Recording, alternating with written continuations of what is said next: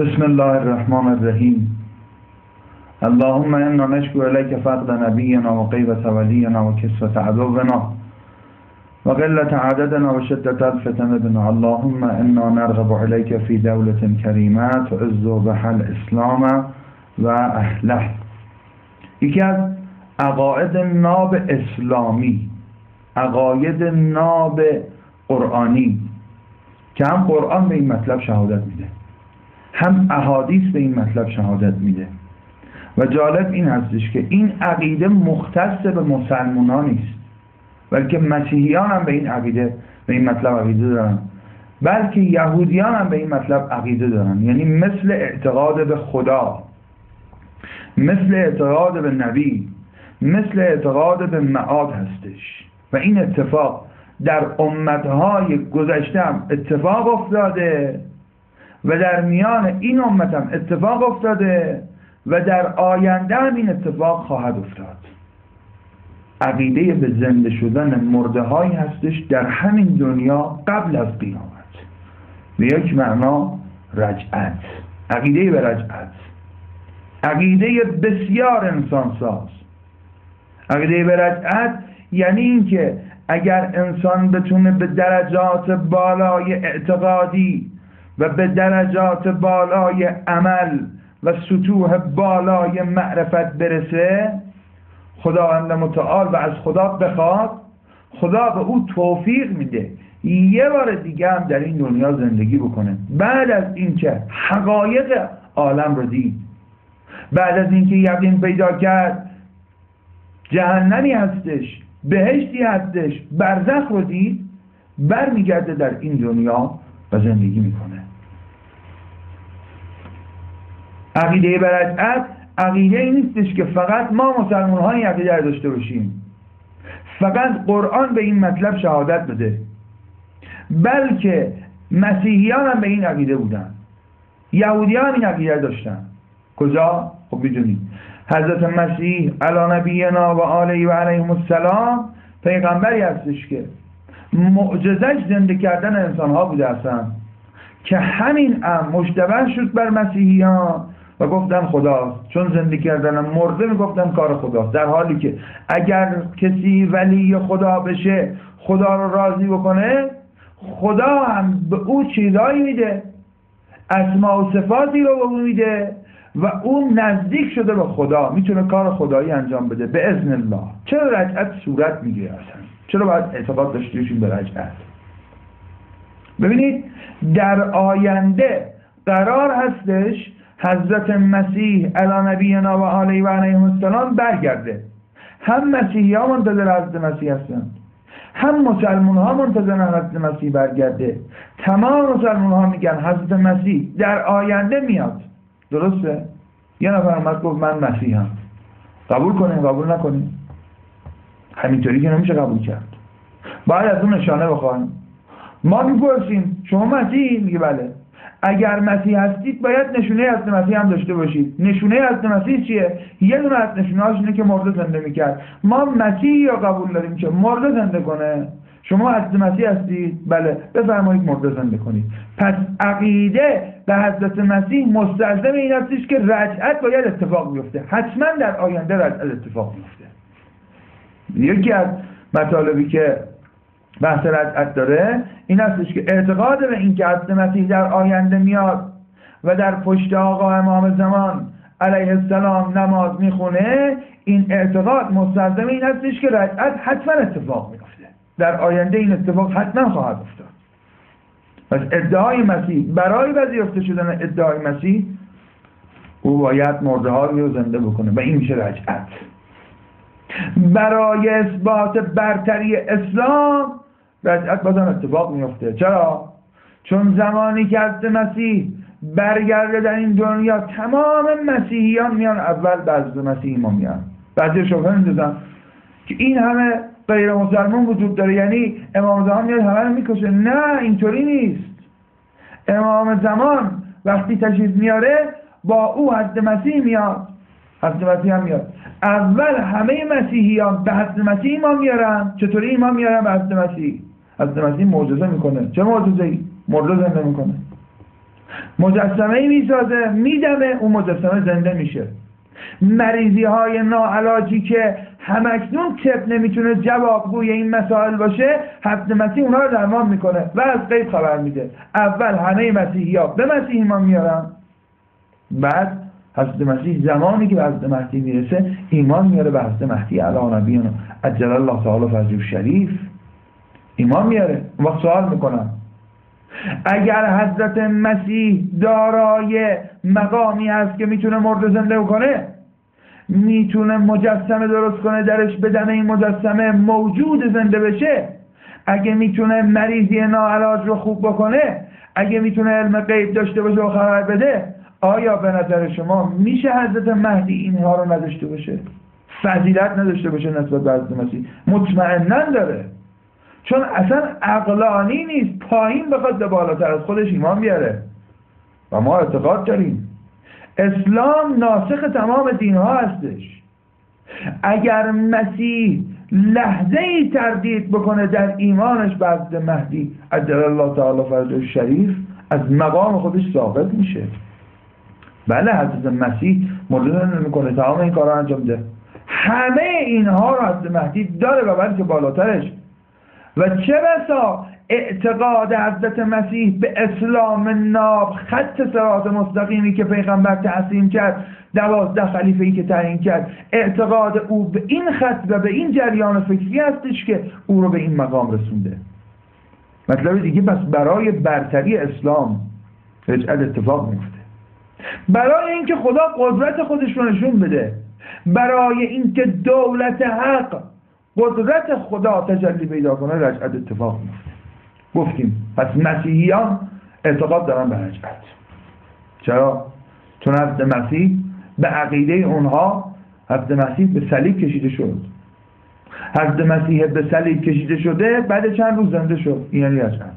که ما قبول نداریم این مطلب مطلب دیگه. هم مسلمان قبول داره هم مسیحیان قبول دارن حضرت مسیح عجل الله حضرت مسیح عجل الله تعالی فرجه و شریف. او هم درسته بگیم عجل الله این حضرت مسیح مرده زنده می‌کرد. مرده زنده کردن یعنی رجعت.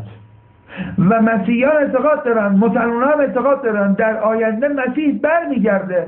برگشت مسیح به این دنیا باید نشونه داشته باشه حضرت مسیح. و اون نشونه چیه؟ همه ازش می‌پرسن تو مسیح هستی؟ ادعای بزرگی کردی؟ میگه بله.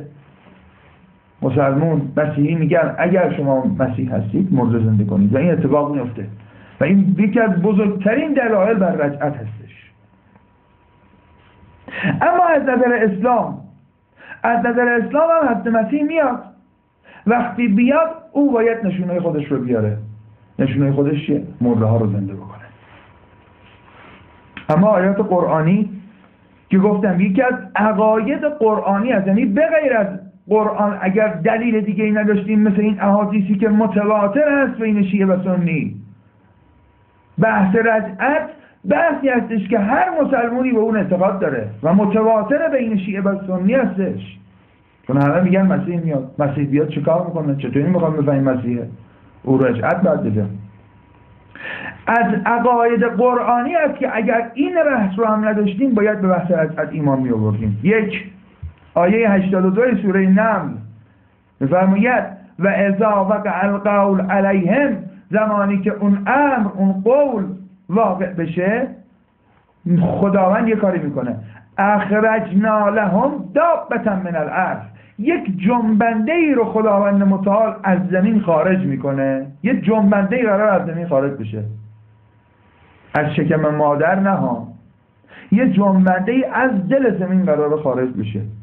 تکلمهم این جنبنده ای که خارج میشه خصوصیت بعدش اینه که با مردم صحبت می‌کنه آقا کدوم جنبنده است که بتونه از زمین خارج بشه؟ یک با مردم هم صحبت بکنه. به لسان مردم با مردم صحبت بکنه. کدوم جنبنده است؟ حیوان که نیست یک انسانی هستش. پس یک انسانی قرار از زمین خارج بشه. با مردم صحبت کنه. با مردمی که تا قبل این مسئله به این آیه عظمای الهی اعتقاد نداشتن. ان الناس کانو به آیاتنا لا یوقنون. با مردمی صحبت کنه که این مردم اعتقاد ایمان یقینی نداشتن نسبت به این آیت الله عظمای خداوند. این مسئله در چه روزی واقع میشه؟ آیه 83 و یوم نحشر من کل امت فوجا ممن یکذب به آیاتنا. این در روزی هستش که خداوند محشور می‌کنه. کی؟ روز قیامت؟ نه روز قیامت نه. روز قیامت همه زنده میشن. اما اینجا همه زنده نمیشن همه محشور نمیشن. فوجن گروهی رو خدا در این روز زنده می‌کنه. آیا در قیامت این آیه نه در قیامت همه زنده میشن. می‌فهمد این در روزی هستش که خداوند در اون روز گروهی رو زنده می‌کنه. همه زنده نمیشن. فوجن گروهی رو که تکذیب کردن آیات الهی رو.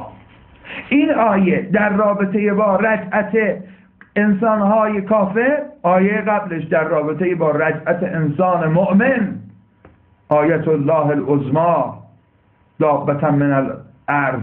تو کلمهم ان الناس کانو شما به این آیه ایمان نداشتید؟ اشکال نداره. خداوند تو اون روز گروهی رو برای حکمتش برای قدرتش و مسائلی که چقدر ما ندونیم زنده می‌کنه اونایی که ایمان نداشتن. گروهی که من من یکذب با آیاتنا. این آیه در رابطه با کفار هست آیه قبل در رابطه با مؤمن هست که ذره شرک و پلیدی به اون نرسید. از ابتدای تولدش به پیغمبر از ابتدای بلوغش به پیغمبر ایمان آورد. از ابتدایی که در این دنیا اومد در کنار پیغمبر اسلام تول پرورش یافت. بزرگ شد. این آیه در رابطه با قیامت نیست. قیامت همه زنده میشن. سوره کف آیه 47 می‌فهمد و حشرناهم فلم نقادر منهم احدا روز قیامت همه رو جمع می‌کنیم. و هیچ کس باقی نمی‌ذاره. اون کسی که اعتقاد به رجعت نداره این آیه قرآن رو نمی‌تونه ترجمه کنه. باید بذاری کنار. یؤمنون به بعض و یکفرون عوض میشه. لذا این بگیم عقیده برجعت یک عقیده قرآنی هستش. آیه بعد. قالوا ربنا امتنا اثنتین و احییتنا اثنتین یه گروهی میگن خدای خداوندا ما رو دو بار میراندی دو بار زنده کردی.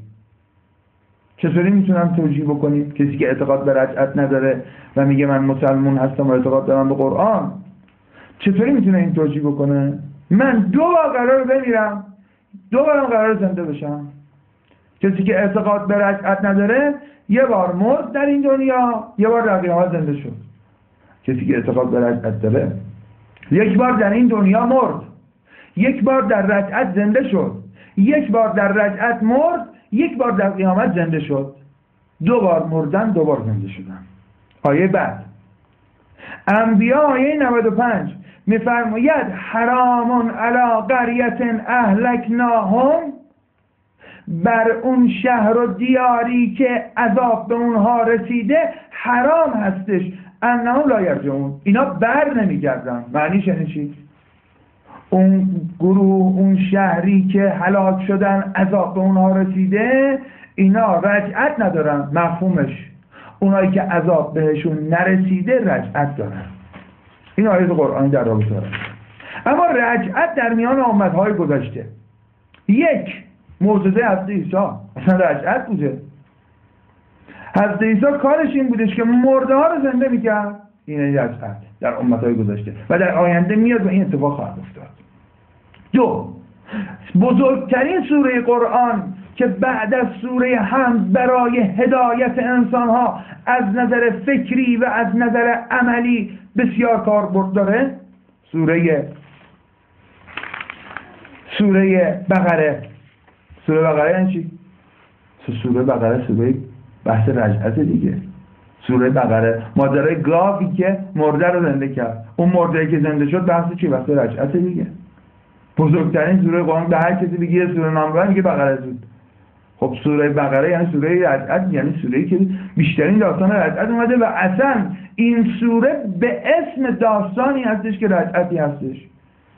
ماجرای اون اختلافی در بنی اسرائیل افتاده بود. حضرت موسی فرمود گاو یا بکشید مرده این گاو رو به زنده به اون مرده بزنید اون مرده زنده بشه. و این کار رو انجام داد و زنده شد. اما کسی که ایمان نداشت اما قصد قلبشون سختتر شد سنگتر شدش. داستان ماجرای سوم. ماجرای گروهی از بنی اسرائیل که رفته بودن خدا رو صحبت خدا رو بشنون که اتفاقایی افتاده بود. بعد از ماجرای گوساله پرست شدن بنی اسرائیل که اینها گفتن که خب ما می‌خوایم بیایم خدا رو ببینیم. خدا رو صحبتش رو بشنویم؟ حضرت آورد اینا صحبت خدا رو شنیدن بعد گفتن می‌خوان خدا رو ببینیم. ایداد بیداد میگه خدا رو میشه دید. مگه خدا محدوده؟ انسان طاقت دیدن مخلوق خدا رو نداره. نمی‌تونه خورشید رو ببینه. خدایی که محیط هست بر همه این عالم چطوری انسان می‌تونه خدا رو ببینه؟ خدا مگه جسمه؟ خدا مگه جسمه که بشه دیدش؟ خدا مگه محتاج و فقیر هستش؟ مثل ماده که فقیر هستش. که بشه دیدش. این کسی که میگه خدا رو میشه دید میگه خدا فقیره. در حقیقت اینو می‌خواد بگه. فقیر هستش. محتاج هستش به اجزایش اجزا داره جز داره ما هم می‌تونیم ببینیمش. این کلام انقدر سخت بود عذابی نازل شد.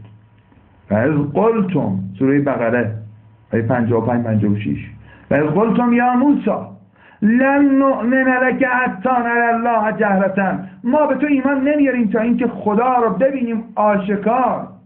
فرخزت کم الساقه ساقه اومد گرفت خدا رو میشه دید. و انتم تنظرون. شما نگاه می‌کردید. ثم زمانی که ساقه اومد و دوچار عذاب شدید مردن. بعد خدا میگه ثم بعثناکم. سپس ما شما رو مبعوثتون کردیم زندهتون کردیم. من بعد موتکم. بعد از اینی که شما مرده بودید. که کسی فکر نکنه که بنی اسرائیل مدیهوش شده بود. نه من بعد موتکم. بعد از مردنتون. چرا؟ لعلکم تشکرون.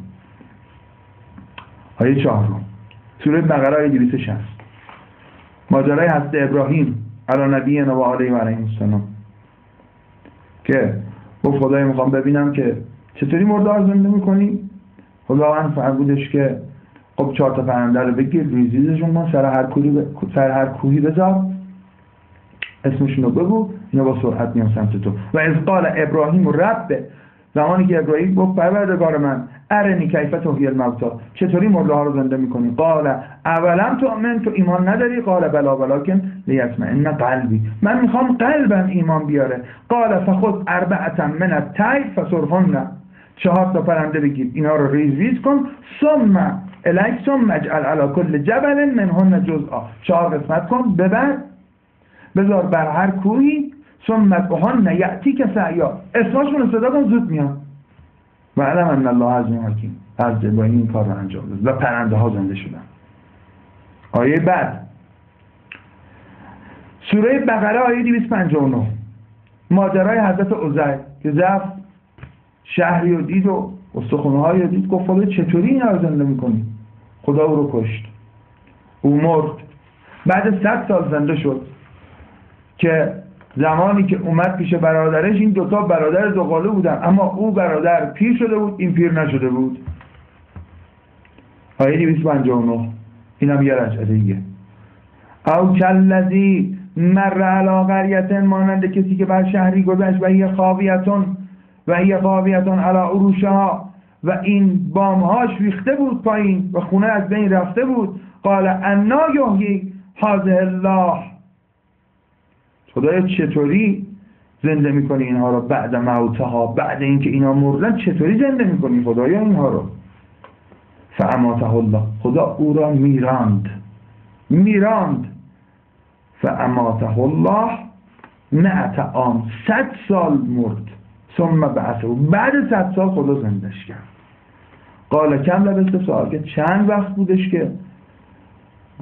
خبر نداری و ایستاده بودی؟ چند وقت بود؟ قال ل... قال لبس رو یمان او بعد ایمان خیلی زود بود صد سال. و صد سال هم زود میگذره. دوستان عقایدمون رو خدایی کنیم. عقایدمون رو مطابق با واقع کنیم.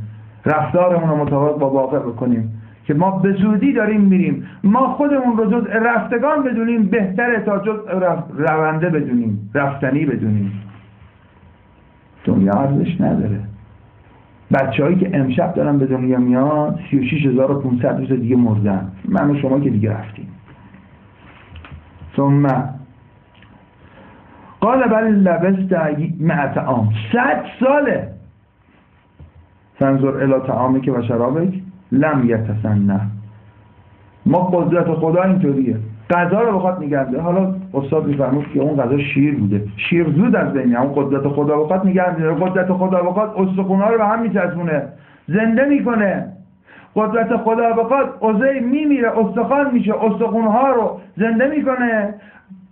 هماری که با او بوده میمیره. گوشتاش از بین میره استخونها از بین میره. اما شیری که زودتر باید فاسد بشه فاسد نمیشه.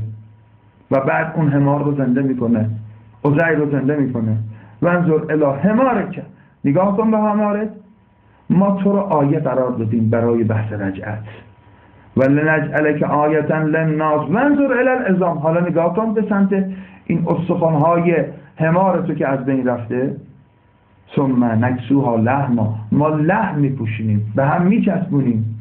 فلما تبین لهو زمانی که روشن شد خدا می‌تونه زنده کنه می‌تونه بمیراند. قدرت داره خدا. و اون کسانی که میگن نمیشه نه گذشته رو قبول دارن نه آینده رو. بدونید اون کسی که می‌گیره از قبول نداره نه گذشته رو می‌تونه قبول کنه نه آینده رو می‌تونه قبول بکنه. فلما تبین له زمانی که روشن شد این مطلب برای او قال اعلم ان الله علی کل شیء قدیر. خدا قادر هستش. می‌تونه هر کاری بکنه. آیه بعد سوره بقره آیه 243 ماجرا این پیغمبری که رفته بود و دید که های زیادی با هم ریخته شده اینجا فهمید که اینا رو چرا عذاب شدن. بعد علم تر الی الذین خرجوا من دیارهم؟ اینا خارج شده بودن از کاشانه خودشون و هم الوفان اینا با هم دوست بودن مهربون بودن. اهلیه شهر و بادیه بودن. حذر از عذاب فرار کرده بودند. فقال لهم فقال لهم الله خدا فرمود موتو بمیرید ثم احیاهم. اینا مرلن سپس زندهشون کرد. ان الله لذو فضل علی الناس ولکن ولکن اکثر الناس لا یشکرون. بیشتر مردم نمی‌بینن شکر نمی‌کنن. کفران میبرشن این آیاتی بودش که در رابطه با رجعت البته گروهی هستن که متاسفانه من نمی‌دونم یا قرآن رو کامل مطالعه نکردن یا مطالعه کردن می‌خوام بین مسلمان ها جدایی بندازن. یا خلالی در عقاید اسلامی باید کنن که گفتیم اصلا عقیده مثل روز واضحه. عقیده مثل عقیده اعتقاد به خداست. ادیان الهی اعتقاد داشتن به این مطلب. مثل اعتقاد به پیغمبرانه. مثل اعتقاد در عیساست. مثل اعتقاد به قیامته. مثل اعتقاد به عدالت خداست. یکی از اون اعتقادات اینه که هر مسلمانی اعتقاد داره. بحث رجعت هستش. و مسیحیان هم به این اعتقاد دارن. و بعضی هم البته می‌خوان اینجا بپوشونن بعضی از مسائل رو. بعضی از مسائل رو می‌خوان بپوشونن. خدای خداوند ما رو نجات بده از اینکه یؤمنون به بعض و یکفرون به بعض باشیم. اللهم عجل لولی کل فرج.